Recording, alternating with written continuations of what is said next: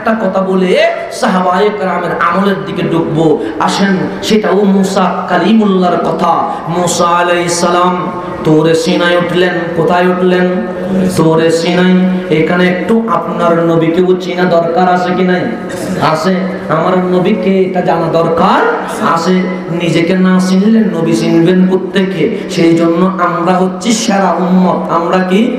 সকল নবীর উম্মতের মধ্যে সেরা কারা?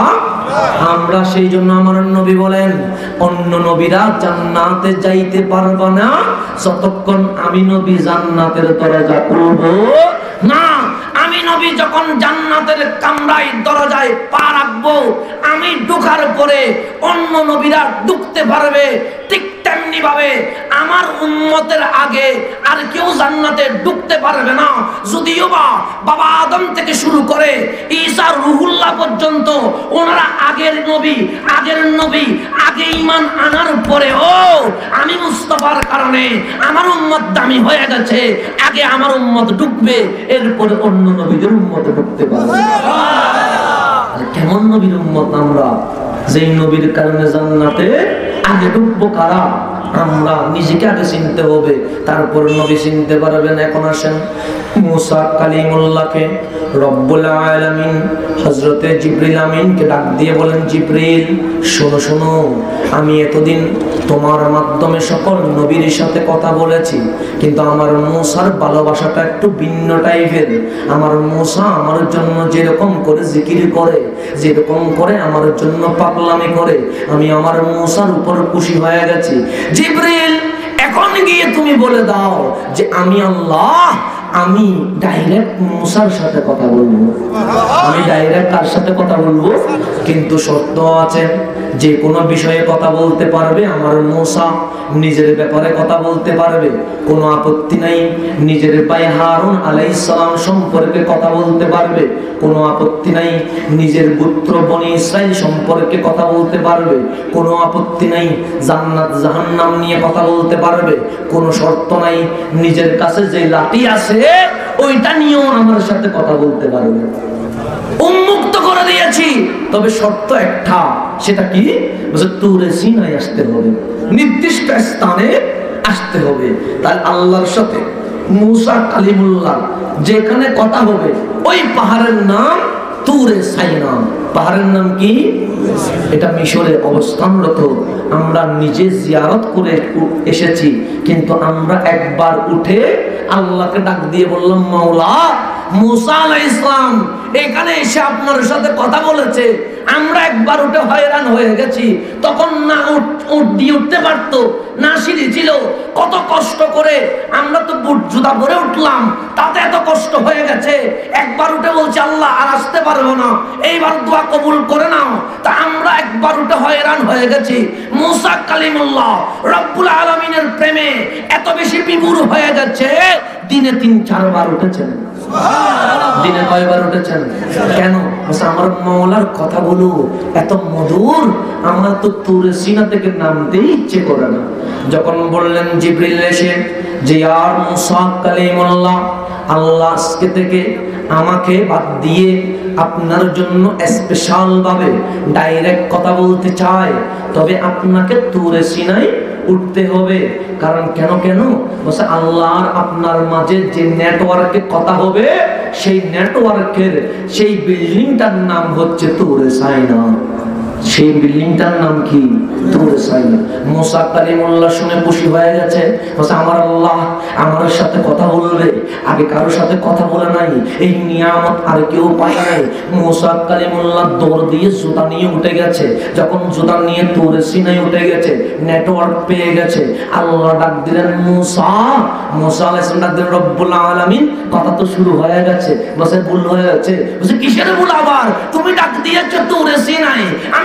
মুসা উঠে গেছি। কুল কোথায়? এই মুসা তুমি না আমার সাথে কথা বললে। আমার সাথে কথা বলার সময় সিস্টেম আছে তুমি নিচে আবার নামো জুতা খুলে তারপরে জুতা খুলে তারপর মুসা আবার নিচে নামলেন জুতা খুলে আবার উঠলেন। আমার নবীও মেয়ারাজ করেছেন আমার নবীও মেয়ারাজ করেছেন। আমার নবী উঠতেই আছে উঠতেই আছে। বলছে তোমার নবী কোন নবী? বলছে আমার নবী পা তুললে এমন ভাবে উঠতে থাকে সাত আসমান ব্যর্থ হয়ে মুনতাহা ব্যর্থ হয়ে লামা খান পর্যন্ত চলে যায়। এটা হচ্ছে আপনার আমার নবী, আমার নবী যখন উঠতেই লাগলেন উঠতেই লাগলেন উঠতেই লাগলেন, আল্লাহ ডাক দিলেন, ইয়া রাসূলুল্লাহ, হাবিবের রহমান, আজ সিদরাতুল মুনতাহা পার হয়ে আপনি মেহমান হয়ে এসেছেন। আপনাকে আমি রব্বুল আলামিনের পক্ষ থেকে সালাম। আমার নবী বলেন, আল্লাহ, তুমি আমাকে সালাম দিয়েছ, আমি পেয়েছি, ওই সালাম আমি উম্মতকে দিয়ে দিয়েছি। নিজের কাছে রাখেন বলছে তোমার সালাম আমি পেলাম, এই সালামটা কাকে দিয়ে দিলাম? আল্লাহ ডাক দিয়ে বলেন আর সে কদম রাখেন, আমার নবী বলতে চায়। আল্লাহ ডাক দিলেন হাবিবের রহমান, কি করেন? বলছে, জুতা খুলছি। বলছে, কেন? বলছে, আমার মনে পড়েছে, মোসা কালিমুল্লাহ, যখন আপনার সাথে কথা বলার জন্য তোরে সিনাই উঠতে লাগল, আপনি ডাক দিলেন, মোসা, জুতা খুলে তারপর আসো। সেই কারণে আমি আর সে কদম রাখব, সেই কারণে জুতো কথা বলছি আমার আল্লাহ ডাক দিলেন, মাহবুব নবী, জুতো খুলে তোর সিনাই উঠা। এটা মোসার শান, আর জুতো নিয়ে আর সে কদম রাখা। এটা আমার মুস্তফার শান। আল্লাহ আল্লাহ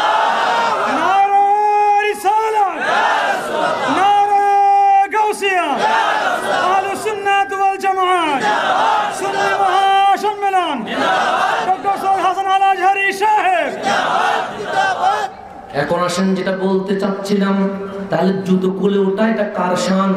মোসা কালিমুল্লাহ।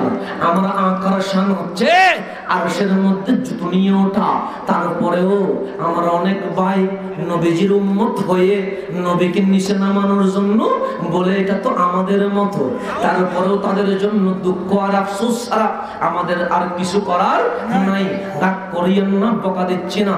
উম্মত রে ইমান তাকে বলে যা এই নবীকে নিজের আপনের চেয়েও বেশি করে নিতে পেরেছে। তাকেই মুসলমান বলা হয়। তাকে মুসলমান বলা হয় না যে কথাই কথাই নবীর দোষ খোঁজে। বন্ধুরেই সেই কারণে বলতে লাগলাম, মোসা কালিমুল্লাহ তুরে সিনায় উঠলেন।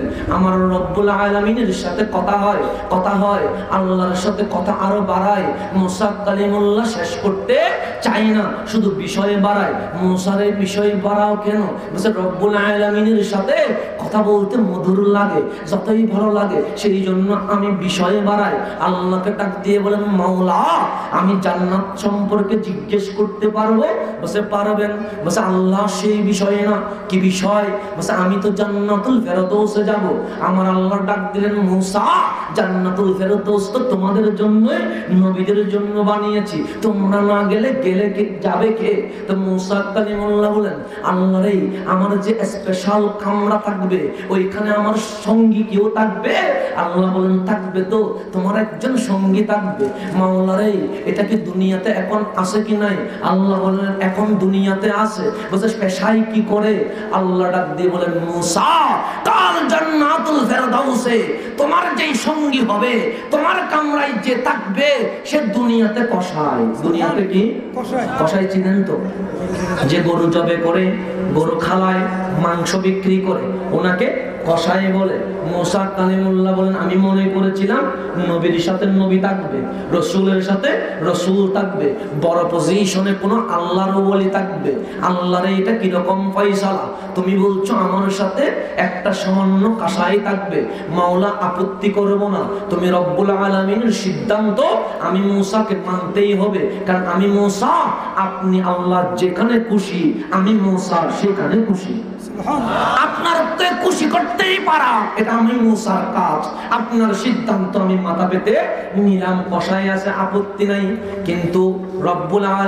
যদি দোয়া করে কবুল করবেন আমরা আল্লাহ বলেন নবীদের দোয়া কবুল ফেরত যাই না। বলছে যেহেতু আমার জান্নাতের সঙ্গী দুনিয়াতে আছে আমি তাকে দুনিয়াতে একটু দেখতে চাই। আমার আল্লাহ বলেন আচ্ছা দেখতে চাইলে শোনো তিন গ্রাম পার হয়ে যেই বাজারটা আছে ওই বাজারের মধ্যে দেখবা অনেক দোকান। একটা মাংসের দোকান আছে ওই মাংসের দোকানে যেই মানুষটা গরুর মাংস বিক্রি করছে ওই মানুষটাই তোমার জান্নাতের সঙ্গী। মোসা কালিমুল্লাহ শুনেন তোরে সিনা থেকে নামলেন হাঁটা ধরলেন বাজারে হাঁটতে হাঁটতে হাঁটতে হাঁটতে আসরের পর করে গিয়ে পৌঁছলেন দেখলেন বাজার সৌদাগররা বাজার সাজাচ্ছে বাজার স্টার্ট ওই যুবকের, ওই জওয়ানের দোকানে গিয়ে পৌঁছলেন। দেখলেন ওই মানুষটা গরুর রানগুলোকে রশি দিয়ে পেঁচিয়ে উপরের দিকে করছে বিক্রি করার জন্য। মোসা কালিমুল্লাহ দেখলেন আমার সাথে জান্নাতে থাকবে। নিশ্চয়ই স্পেশাল কোনো আমল আছে। স্পেশাল আমল ছাড়া তো রব্বুল আলামিন আমার সাথে রাখতো না। তার আমল কি? মোসা কালিমুল্লাহ দেখলেন, একটা মাংস, ভালো ধরনের মাংস উনি কেটে পলিথিনে রেখে অন্যদিকে রেখে দিলেন। এরপর ওনার বিক্রি শুরু হয়েছে মোসা কালিমুল্লাহ দেখলেন স্পেশাল কোনো আমল নাই। সবাই যেরকম বিক্রি করে, উনিও মাংস বিক্রি করলেন।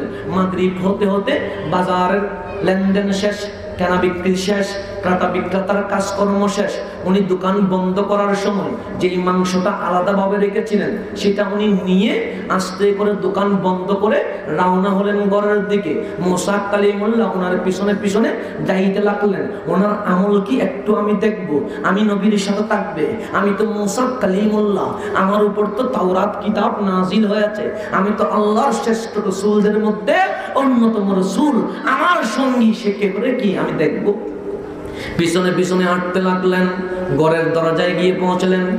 দেখলেন তালা দিয়ে দরজা খোলে। মোসা কালিমুল্লাহ ডাক দিলেন, ভাই, আমি মোসাফির। রাত্রি নেমে উঠেছে, যাব কোথায়? আপনি কি আমাকে একটু মেহমানদারি করবেন? আজ রাতের জন্য। কষাই ডাক দিয়ে বললেন, এটাই আমার সৌভাগ্য। আজ যদি আপনি আমার ঘরে মোসাফির হন থাকেন আমি খুশি হব। মোসা আলাহ ইসলাম রাজি হয়ে গেলেন। কিন্তু ওনার উদ্দেশ্য একটাই, যে এই ব্যক্তির স্পেশাল আমল কি? যেই আমলের কারণে জান্নাতে আমার সফর সঙ্গী, আমার সঙ্গী জান্নাতে। আমি এটা দেখব। মোসা কালিমুল্লাহ ভিতরে ঢুকলেন। ওই কসাই বললেন, আপনি একটু আরাম করেন, আমি একটু রান্না বান্না করে তারপরে মেহমানদারি করব। মোসা কালিমুল্লাহ লুকাইয়া লুকাইয়া দেখে আমল করে কি? দেখলেন ওই ব্যক্তি পাকঘরে ঢুকেছে, রান্না করে ঢুকলো। উনি মাংস যে মাংসটা উনি আলাদাভাবে রেখেছেন তার রান্না করল, রুটি বানালো। দেখলেন রুটি আর মাংস নিয়ে ওনার পাশে আরেকটা কামরা ওই রুমের ভেতরে, ওইটাও থালা মারা ওইটা খুলে ভিতরে ঢুকলেন। মোসা কালিমুল্লাহ পর্দার অন্তরালে তাকিয়ে আছে। এই মানুষটা করছে কি? দেখলেন ওই কামরার ভেতরে একজন বিদ্যা মহিলা যে শুইলে বসতে পারে না, বসলে শুইতে পারে না। ওই মানুষটাকে কষায় বিদ্যা মহিলাকে তুলে দা গোসল দোয়া দিয়া, কাপড় পরিধান করায়া ওই রুটিয়ার মাংস খাওয়ায়া ওনার মুখ মুছে দিয়ে সুন্দর করে আবার ঘুমিয়ে দিলেন। মোসা কালিমুল্লাহ ভিতর থেকে দেখলেন। দেখার পরে মোসা কালিমুল্লাহ দেখলেন যখন ওনাকে শোয়া দিচ্ছে, ওই মহিলা গুনগুন করে কিছু বলছে, কিন্তু দূর থেকে শোনা যাচ্ছে না। মোসা কালিমুল্লাহ অনেক খেয়াল করলেন, এই বিদ্যা মহিলা বলে কি, কিন্তু কোনো মতেই শোনা যায় না। মোসা কালিমুল্লাহ সামনের রুমে এসে বসলেন কষায় বাকি যেই জিনিসগুলো রয়ে গেছে, মাংস আর রুটি এগুলো নিয়ে আসলো মোসা কালিমুল্লাহর কাছে আরজ করলেন, মেহমান, রাগ করবেন না। ভিতরের যে বিদ্যা মহিলা এটা আমার মা। আমি বাজারে গিয়েছি খাওয়াইয়া গিয়েছিলাম। কিন্তু দুই তিন ঘণ্টা বিক্রি করার কারণে আমার মাকে খাওয়াইতে পারি নাই। আমি সেই জন্য আমার মায়ের একটু মেহমানদারি করলাম খাওয়াইয়া দিলাম। একবার দুটো আল্লাহুম্মা সাল্লি আলা ওয়া আলা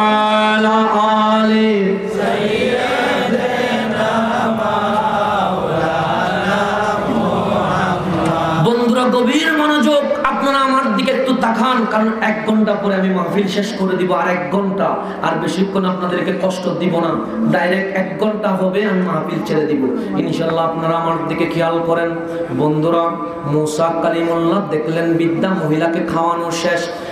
বিদ্যা মহিলাকে খাওয়ানো শেষ মোসা কালিমুল্লার কাছে। ওই রুটি এবং মাংস নিয়ে আসলেন। মোসা কালিমুল্লাকে কষায় আরজ করলেন যে, এটা আমার মা, আমার মাকে খাওয়াইয়া তারপর আপনার মেহমানদারি করছি। দেরি হয়ে গেছে, রাগ করবেন না। মোসা কালিমুল্লাহ বলেন, আপনার মেহমানদারি আমি কবুল করব না, শর্ত আছে। আমার শর্ত যদি মেনে নেন, তাহলে আমি কবুল করব। বলছে, শর্ত কি? বলছে, কিছু প্রশ্ন করব, উত্তর দিতে হবে। বলছে, রাজি আসি বলছে, ভিতরের মহিলাটাকে বলছে, এটা আমার মা। বলছে, এই অবস্থা কেন? বলছে, আমার মায়ের বার্ধক্যের কারণে বিদ্যা হয়ে যাওয়ার কারণে, বয়স বেশি হওয়ার কারণে উনি উঠতে চলতে পারে না। ওনাকে বসাইয়া দিলে উনি নিজে শুইতে পারে না, শোয়াইয়া দিলে উঠে হাঁটতে পারে না। সেই কারণে আমি সকালবেলা একবার নাস্তা করাইয়া দিই। আবার যখন দোকানে যাই, তখন একবার আরেকবার খাওয়াইয়া দিই। আবার যখন দোকান থেকে আসি, তখন আরেকবার খাওয়াইয়া দিই। আমার মা বারবার কাপড় অপবিত্র করে, আমি যতবার অপবিত্র করে, ততবার চেঞ্জ করে ধুয়ে দিই। বলছে, এটাই আমার নিত্যদিনের ডিউটি এরপর আমি কষাই কাম করি। এই ছাড়া আমার আর কোনো ডিউটি নাই। মোসা কালিমুল্লাহ বুঝে গেছে স্পেশাল আমল হচ্ছে মায়ের সেবা। মোসা কালিমুল্লাহ ডাক দিয়ে বলেন, যুবক, আমি দেখলাম তোমার মাকে যখন তুমি শোয়া দিচ্ছ, তোমার মা গুনগুন করে কি যেন দোয়া করছে তোমার জন্য। আমি বড়ই বড়ই কান লাগিয়ে শুনতে চাইলাম, কিন্তু শুনতে পারি নাই। দোয়াটা একটু আমাকে বলো। যুবক কষাই বলল আই মেহমান, আপনাকে বললে হাসবেন। মা ছেলের জন্য অনেক দোয়া করে। এই দোয়া কবুল হওয়ার মতো নয় আমার মা যেটা চাচ্ছে, সেটা রব্বুল আলমিন কবুল করবে না। মুসা কালিমুল্লাহ বলেন, আমার শুনতে হবে। আমাকে যদি বলো, তারপর তোমার কবুল না। ওই ব্যক্তি বলল, আপনি যদি শুনেন, হাসবেন, শুধু শুধু হাসার পাত্র হয়ে লাভ কি? মুসা কালিমুল্লাহ বলেন, বলুন না।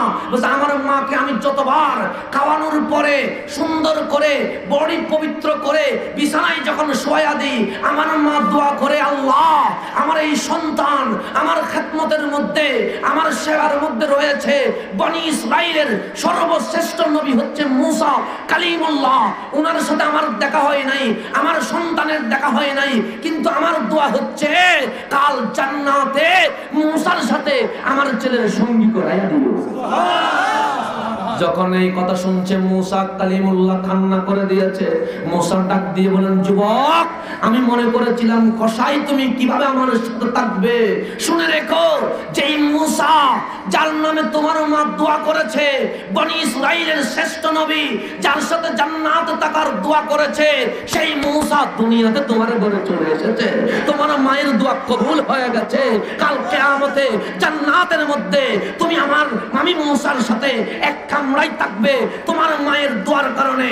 যুবক, যেটা বলতে চাচ্ছিলাম, যদি মুসা আলাইহিস সালামের সেই উম্মত নারীর যদি দোয়ায় সন্তানকে মুসা কালিমুল্লাহর সাথে জান্নাতুল ফেরদৌসে পৌঁছায়া দিতে পারে, আমার নবীর উম্মত আমাদের মা তো শ্রেষ্ঠ মা।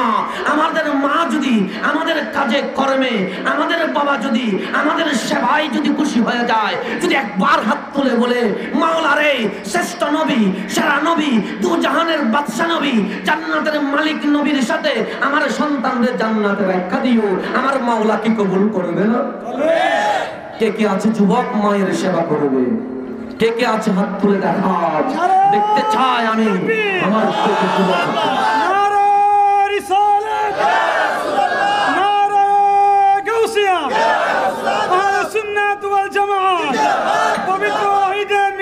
नबी जिंदाबाद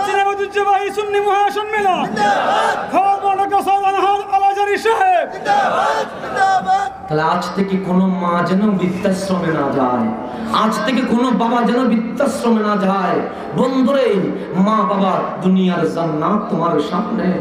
যাদের কদমের নিচে জান্নাত, তারা কেমনি বৃদ্ধাশ্রমে যায়? তারা কেমনি অন্যের ঘরে গিয়ে কান্না করে ছেলে আমায় বাইরে করে দিয়েছে? বন্ধু আমার, আজ থেকে কোনো মায়ের ঠিকানা যেন বৃদ্ধাশ্রমে না পায়। কারণ মা দোয়া করলে যেরকম জান্নাত বদুয়া করলে জাহান্নাম। সুতরাং দুনিয়াতে জান্নাত হারাইয়া দিয়েন না। সময় থাকতে মায়ের কদমে চলে আসেন। আর যাদের মা চলে গেছে, পরকালের বাসিন্দা হয়ে গেছে, তাদের জন্য যতটুকু কোরআনের আয়াত পারেন, ততটুকু পড়বেন, যতটুকু দরুদ শরীফ পারেন, ততটুকু পড়বেন মা বাবার জন্য রব্বুল আলামিনের দরবারে দোয়া করবেন। আল্লাহ যেন কবুল করে। আল্লাহুম্মা সাল্লি আলা সাইয়্যিদিনা محمد وعلى آل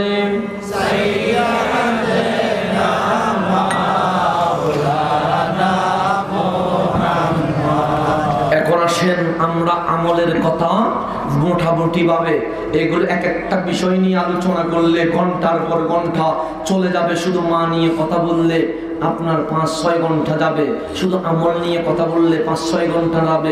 সবগুলো মিলাইয়া বলছি, এখন আসেন আমরা আমলের কথা বললাম মা বাবার সেবার কথা বললাম, নামাজের কথা বললাম, ভালো ব্যবহারের কথা বললাম, স্ত্রীর সাথে সদ্ব্যবহার করবেন, সন্তানকে আদর করবেন, স্নেহ করবেন, সেই জন্য আমার নবী মাসনাইনে করিমাইনকে কোলে নিয়ে চুমু দিচ্ছে, কোলে নিয়ে চুমু দিচ্ছে।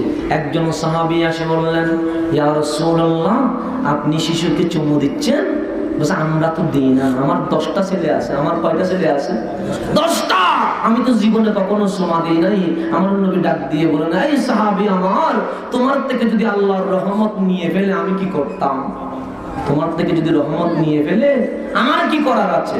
সুতরাং বাবারাই মাদেরকে অনুরোধ, সন্তানদেরকে বেশি শাসনও করবেন না, বেশি ছেড়েও দিবেন না। বেশি শাসন করলেও সমস্যা, বেশি ছেড়ে দিলেও সমস্যা। দুইটার মাঝখানে রেখে বড় করবেন। দেখবেন সন্তান মানুষের মতো মানুষ হবে। বেশি মানলেও সুর ডাকাত হয়, বেশি ছেড়ে দিলেও সন্ত্রাস হয়। সে সুতরাং বেশি ছেড়েও দিবেন না, বেশি মারবেনও না। সন্তান ভয় পাওয়া এটা বড় জিনিস নয়, সম্মান করা এটা বড় জিনিস। সম্মান করা এটা বড় জিনিস। শিক্ষকদের সম্মান করবেন। যেই ব্যক্তি জীবনে একবার শিক্ষকের সাথে বেয়াদবি করেছে, তার জীবন কখনো সফল হবে না। মাওলা আলী বলছেন, যিনি আমাকে এক অক্ষর শিক্ষা দিয়েছে, ওই শিক্ষকের অধিকার আছে, আমার চামড়া ছিলে গেলার তাহলে কতটুকু শিক্ষকের অধিকার? সেই জন্য শিক্ষক যেই হোক হোক মুসলমান, হোক হিন্দু, হোক বৌদ্ধ, হোক চাকমা, শিক্ষক তিনি শিক্ষক। তাকে সম্মান করতে হবে। এটা মনে রাখবেন। সুতরাং এখন